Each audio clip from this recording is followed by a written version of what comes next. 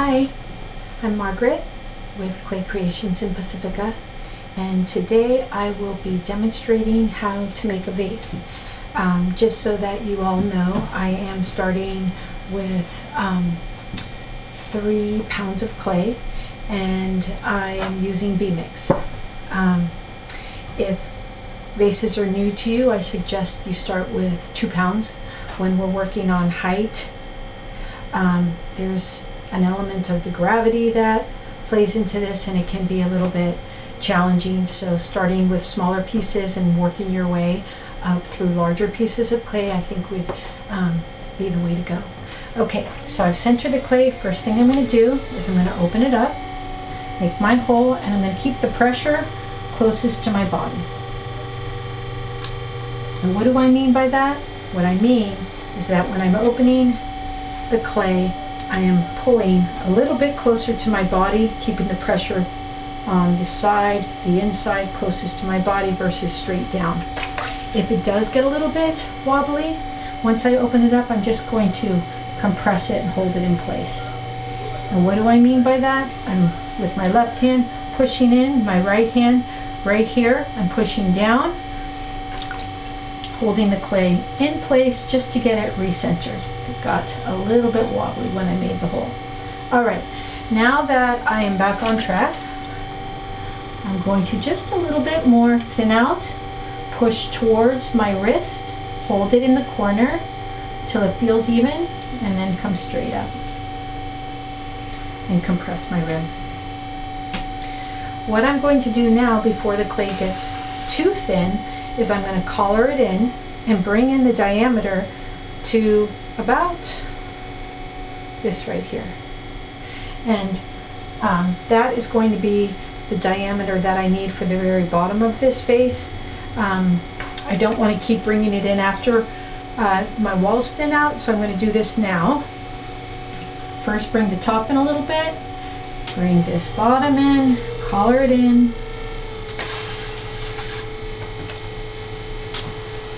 bring it in,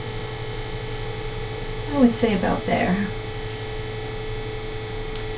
Okay. All right.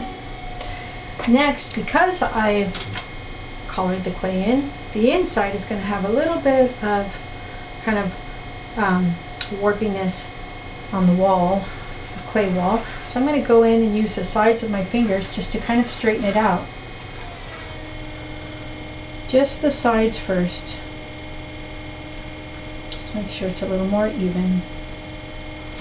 And then compress. All right. Now, I'm going to talk about two different ways to pull up for bases. The first is like this. My thumb is leaning against the side, my fingers, and my in hand that's on the inside is going to be in between, like this. My outside hand is going to push it back in as I'm coming up. The second pull up technique is this way with my finger, the edge of it, and my knuckle coming up like this. In fact, let me do that one first. Okay, I do my knuckle first. Push in.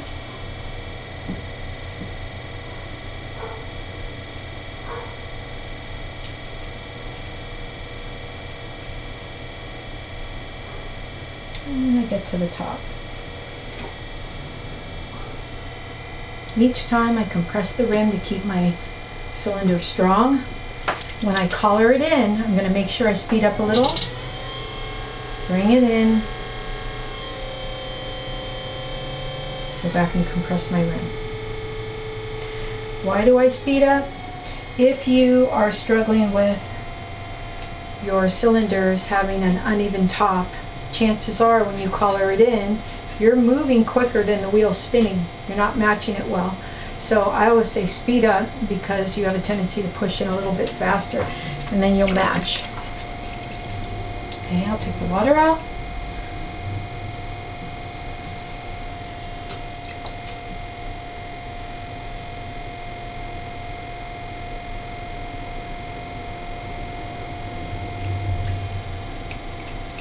time.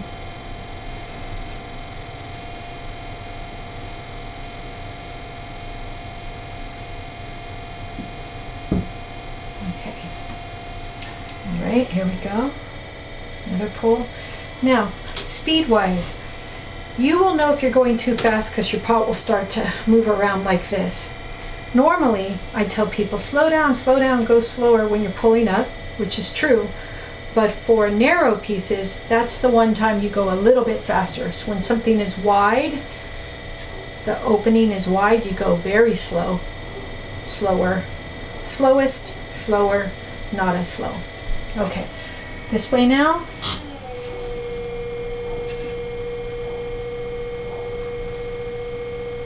My inside hand, my fingers are right above. You kind of see it coming out.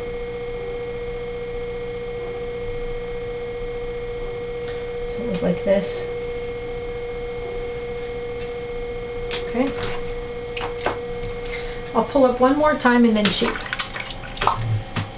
Compress. Speed up. Collar it in. Another mistake that I see that people make is they spend too much time when the clay has gotten thinned out collaring it in. And by that point, because they're looking to get more height, by that point, if your clay gets thinned out, and you collar it in too much, it'll twist and buckle.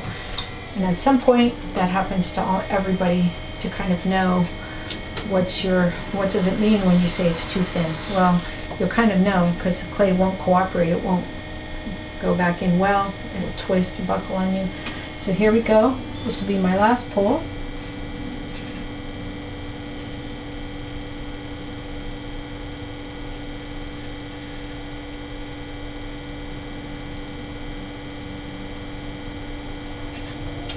Okay, the next one is going to be all about shaping. When I shape this cylinder, I'm going to start off together. I'm going to reverse. My outside hand is going to be higher than my inside hand. My inside hand is going to push out for shaping, pull it out, and then come back together. Okay, so here we go.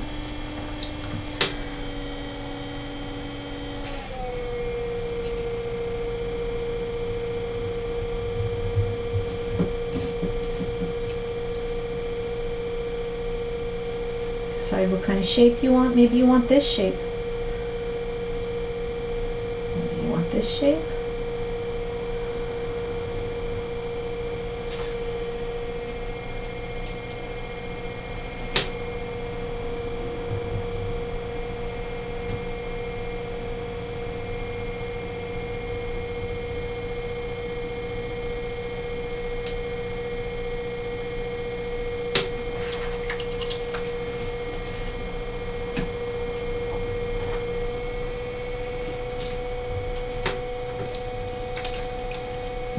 Are the flowers going to lie? It's nice when it's just slightly angled out. I don't like my neck to be too big. If I do have a big neck, then I like it to be a bigger vase, bigger flowers, but I guess you can always cut it down. All right, now I'm going to use my rib just a little bit to clean up the outside.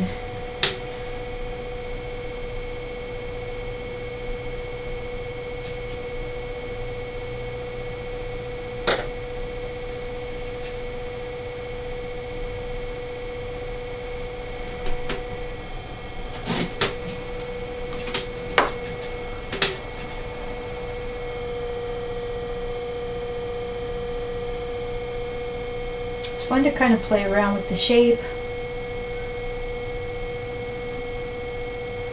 Decide what you like. Ribs are nice for vases if you, whoops, want to use the angles.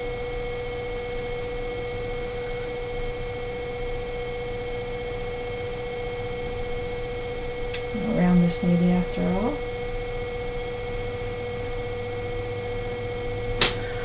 Okay, last thing I'm going to do is that undercut.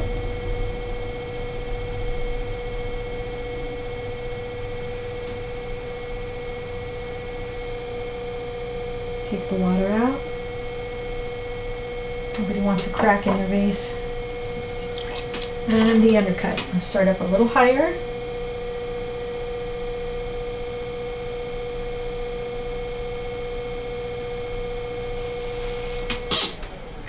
and then tomorrow I'll put a foot on it.